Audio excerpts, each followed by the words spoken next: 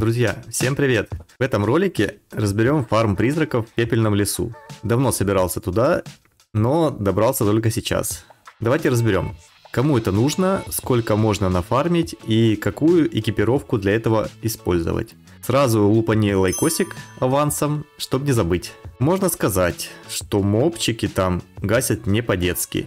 И если ты туда собрался, то нужно по максимуму обмазаться вазелинчиком чтобы не так больно попе было. И удели 5 минуточек своего времени для этого видосика, досмотри до конца, тогда вазелинчик можно оставить для других дел. И кому же нужна та пепелка? Это три категории путешественников. Первая – это те, кто просто хочет изучить мобчиков. Вторая категория – кто собирает листочки ктрана для внешки или перстень старьевщика. И третья – кто хочет себе заточить ожерелку деборики – ожерелки на аукционе не купить, там 500 ставок на сегодняшний день, и остается их только фармить. Фармить итемки и сливать там вторые свитки удачи так себе занятие. Есть категория особо удачливых игроков, которым часто дропает бежа на кзарках, можете проверить свою удачу тут. Мусором тут сильно не разжиться, но получается больше, чем на кзарках. Еще плюсом есть дополнительный доход кафрасов с Ару-Ару, которые довольно часто тут спавнятся. Перед походом в пепелку, во-первых, нужно сделать 100% рези резистов от опрокидывания. Призраки прям так и норовят положить персонажа на лопатки и отодрать как следует. Этого им позволить никак нельзя, потому берем шлем Грифона или Лабреска даст 5% резистов, кроссы пихаем камни с резистами, еще пихаем 4 хума, по инкрустации все, получаем 57% дополнительных резистов от опрокидывания. Можно запихать в шлем еще 20% резистов, но это, думаю, лишнее. Далее берем обязательно баф пристанища, там получаем еще 10%. Алхим камень улучшенный вел, даст еще 2%. Если использовать звезду Ферле, то будет проще достичь капов 100%, но теряем в атаке. Добить 100% резистов поможет или PvP обед, или зелье карка. Тестил оба варианта. Вариант с карком, как по мне, лучше, потому как у меня его дах в избытке накопилось и теперь есть куда использовать. Плюс PvE обед добавляет больше снижения урона от монстров.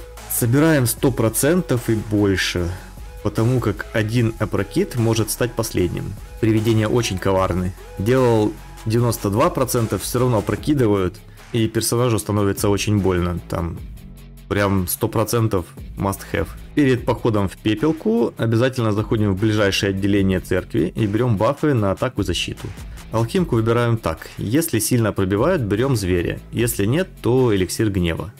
Вторая химка – экстракт лесного духа или карк. По фарму все просто. В лесу разбросаны парящие яйца, это как они называются, зерно разлома, вокруг которых тусят призраки. Если долбануть по яйцу, то привидения вокруг быстрее начинают атаковать, плюс появляются мелкие. В общем, обитатели не любят, когда яйцо кто-то трогает. Первым делом нужно убивать моба с фонарем.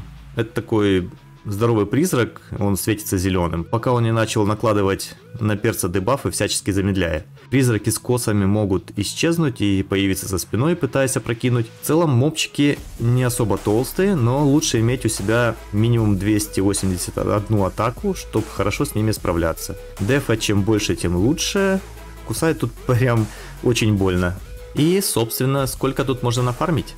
Итемка стоит 35 тысяч серебра, в среднем в час с первым свитком получается 2500 штук плюс-минус. Использовать второй свиток удачи смысла нет.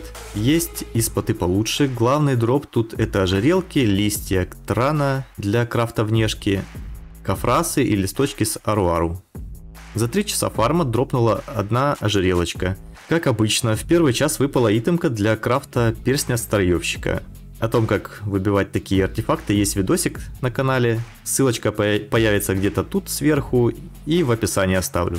Час мне дропало примерно 5 листков Ктрана, плюс-минус. В общем, интересная локация. Особенно если получается залутать ожерелку. Если кто-то тут фармил, то пиши в комментариях, как часто они тут дропаются. Да и вообще, пишите, что вы думаете про пепельный лес. Не забудь ёбнуть лайк этому видео, тебе не сложно, а мне приятно. Подписывайся на канал, будут еще видосики. И всем пока, увидимся в мире Black Desert.